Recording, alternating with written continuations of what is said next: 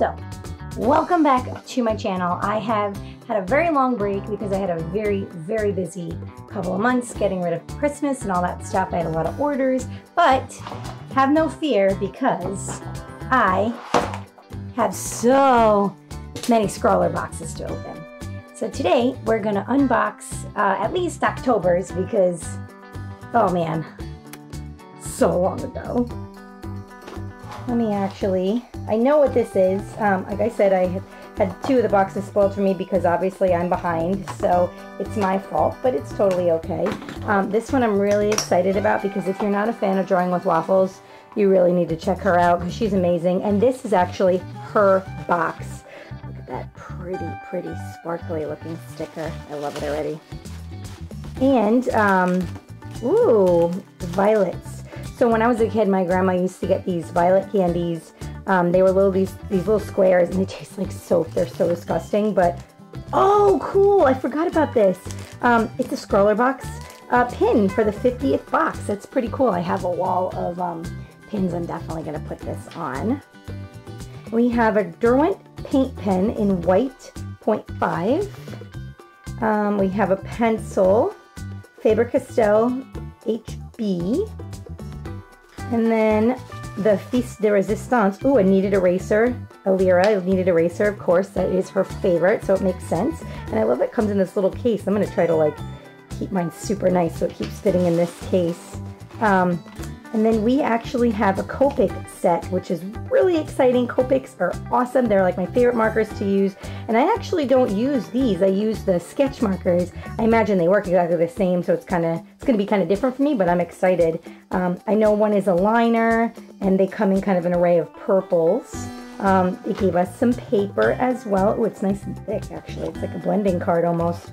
And then, of course, this is um, Rin's beautiful piece um, and it was really cool on her channel she actually showed her original and then she almost recreated it it was really cool you should definitely head over to her channel and check it out um, DrawingWiffWaffles uh, definitely check her out. I will link her in the description. And then this month's prompt is dressed to the nines. So i guess uh, let's get started.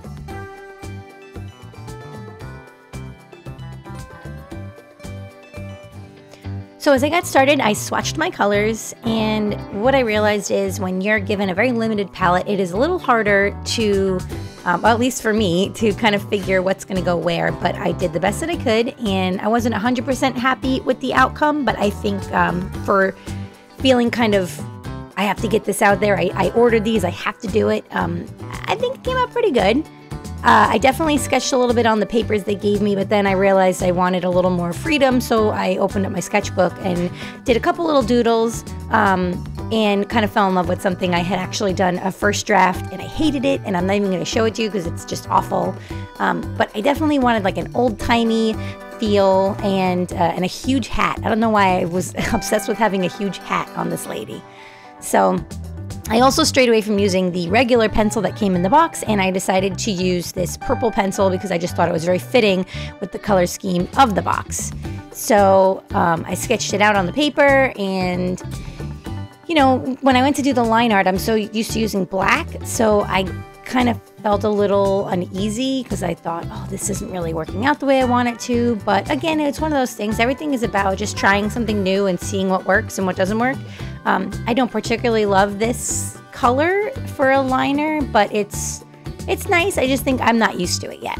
So with that being said, um, again, I made the best out of it and I tried to utilize the, the line art but also add a little bit of shading with it because I felt like I'm relying on literally two colors aside from that really pretty pink jelly marker. Um, and I was nervous that I wouldn't have enough definition and tone. But the good thing about Copics is you can overlay them and overlay them and, and you will get darker areas and um, that's something nice that comes up a little bit later. I'm also not used to leaving skin tone as white, which was also really hard for me. So I just tried to put in my base shadows, figure out where things were gonna go, and then kind of hope for the best. One of the things I notice I do is I'm constantly comparing myself to other artists, and especially because I admire DrawingWiffWaffles, I was sitting here thinking, man, this illustration has to be amazing, um, especially because it's a box by DrawingWiffWaffles. But what I realized is I'm putting way too much pressure on myself, and that's not as important as actually enjoying enjoying the experience, drawing, enjoying the experience, and trying something new. So it's totally okay to look up to people and admire them, but remember, as a young artist, you want to try to find your own way and don't compare yourself to others because it just makes more sense to go into it, find your voice, and enjoy what you're doing. Otherwise, it's a chore, and then who wants to do that?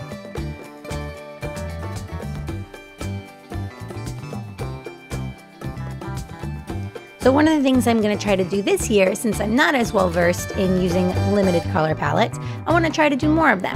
And one of the options is using Jazza's Arty Games. He's got um, a really cool feature where you can plug in all the Copic markers you have, and then it brings up like maybe three random colors, and you have to try to use this limited palette. So I think it's a great way um, to kind of expand things that you already know about art and design. Um, I definitely think it's harder when you're using like three of almost the same color, but but it was a good challenge and it was fun. I enjoyed it. So I guess moving on to the next box, and I'll see you back at the drawing board.